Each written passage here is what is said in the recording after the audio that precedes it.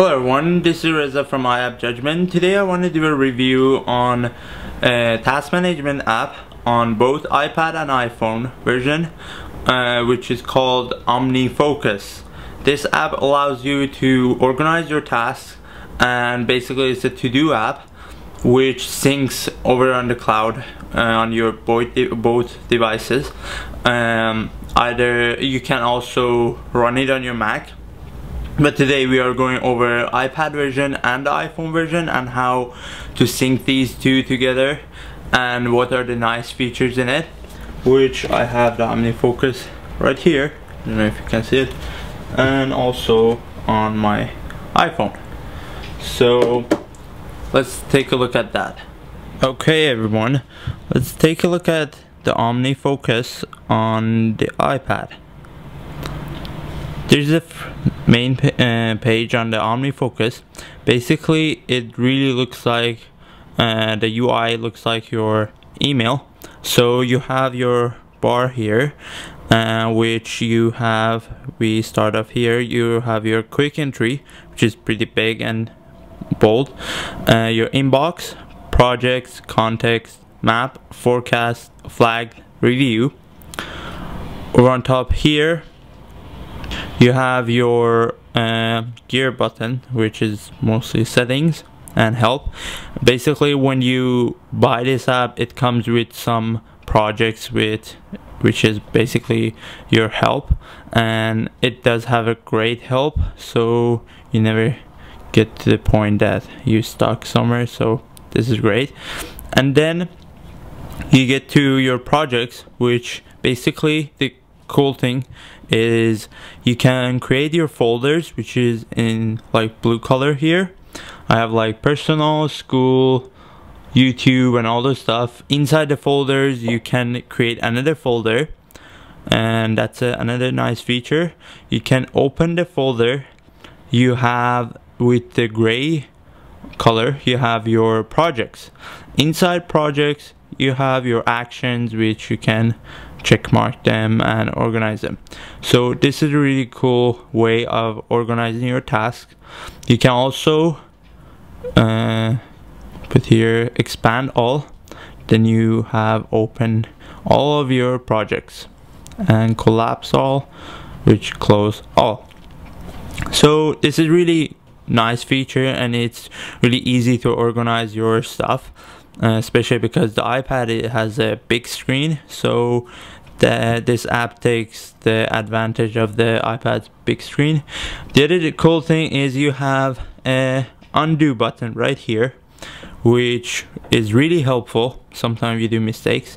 You have your this is the I button. You can add there's like you can uh, say like show me all of my tasks even though I'm done with it or I've done it uh, remaining available next action. Next action means if you have multiple actions in one project it just shows you one at a time and as soon as you've done that it goes to the next one. This is a cool thing too. And then you have your search. If you have a lot of tasks a lot of actions you can search them. And you have entry button. You can like entry the new project new folder or quick entry and then inside the like for example new project you can type the name on top right there and the type you can have like uh, any of these like parallel which is like tasks that you have to do at the same time or single action doesn't really matter which one you do all this stuff and you can have like active on hold completed dropped. You can add a context here and the other cool thing is if you haven't made a context which is a place or something like that ahead of time you can actually type it here and then there's nothing then it says create that thing that you typed. So you can right there create a new context and add it to your project. And then you can move your project to any of your folders you've created and you can set a date start and this is a cool feature that here you have like plus one day plus one week or month that you just tap and then it's easier sometimes to get to the um, date you want and faster. And basically this app all is about how fast you do you write your tab uh, tasks. Sorry about that. And basically you don't want to waste a lot of time on it and you have your notes and one of the really cool features is you can attach your photo or audio. And this is really time saving which you can add the audio. And you can delete we can delete that basically. The other thing is you have your bar here. You can see these are my folders inside I have my projects and then if I tap I see my actions right? Here. So and this is a quick entry if you don't put any project any context it just straight goes to inbox. Later on you can change it. You can add context just for viewing it better. Sorry. And you have your map. You can assign a map location based on your context which if you see here I have a couple of different contexts in different places and it shows me each place if I have any uh, tasks right there. That's another cool thing. And the forecast you have basically the date. So this is today tomorrow Friday Saturday or future or past. That's a cool thing and then flagged when you flag it it's basically like you star it or you flag it whatever you want to call it. You do that and then it just comes there. And review you just review what uh, you've done the task. So when you review it you reviewed how you did it basically. And another thing is basically we are over that.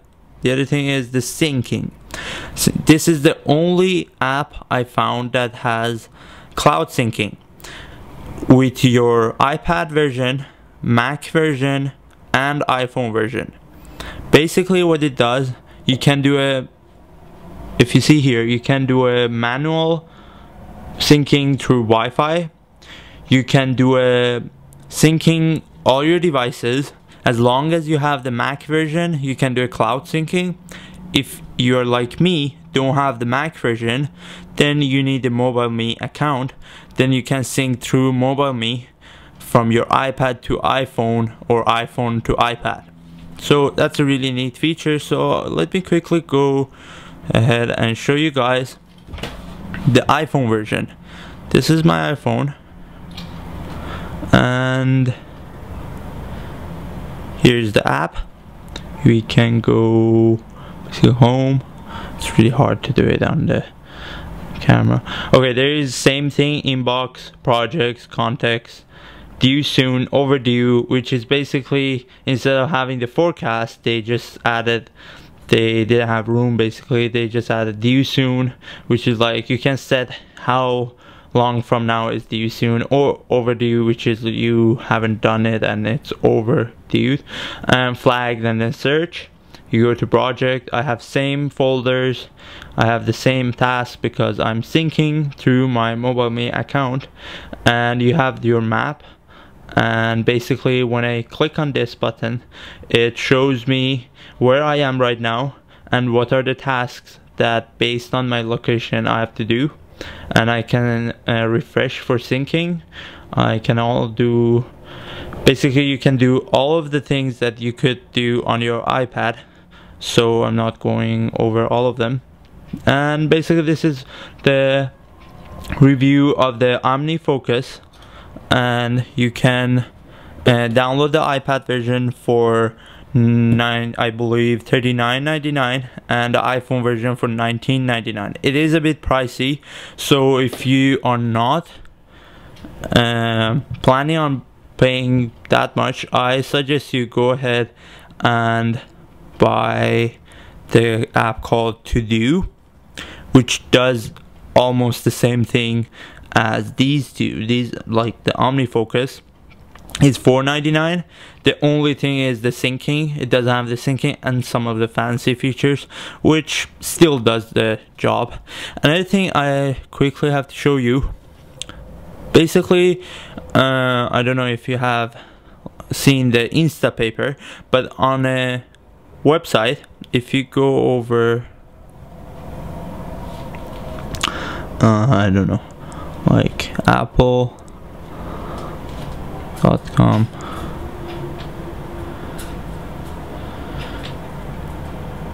if you go on a website for example apple and you want the link to be saved on your task instead of just copying the link and paste it on your task you go ahead you have to basically set up and it's super easy. They just on omnifocus they just tell you how to set up all these stuff.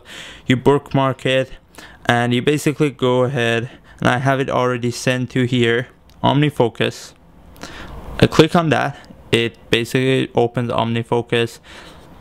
The title of my task or action is right here same as the title of the website over at the note I have my link of the website and I can go ahead and add the content and project and dates and all those stuff. So it's really really easy to use and I totally recommend it to people who want to spend $39.99 and $19.99 for the iPhone version. If not I recommend the to-do app thanks for watching. This is Reza from iApp Judgment. See you next time